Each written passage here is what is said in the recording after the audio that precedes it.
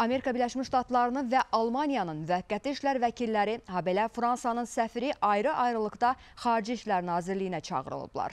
Bu ölkələrdə qeydiyyatda olan təşkilatların iştirakı ilə Abzas Media xəbər portalının qeyri-qanuni maliyyə əməliyyatları həyata keçirdiyi, eləcə də sözü gedən ölkələrin səfirliklərinin də bu fəaliyyətə cəlb olunduğu diqqətə çatdırılıb və buna ciddi etiraz bildirilib. Amerika Birləşmiş Ştatlarının Beynəlxalq İnkişaf Agentliyinin Freedom Now, New Democracy Fond və digər təşkilatların qrant verilməsi qaydalarını pozaraq maliyyə resurslarının Azərbaycan ərazisinə qanunsuz yolla transferini həyata keçirdiklərini, Abzas Medianın fəaliyyətinə qanundan kənar töhfələr verdikləri qeyd olunub.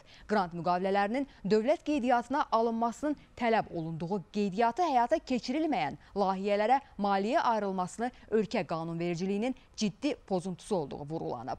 Azərbaycan tərəfinin faktlarla əlaqədar müvafiq tədbirlər görmək hüququnu özündə saxladığı diqqətə çatdırılıb.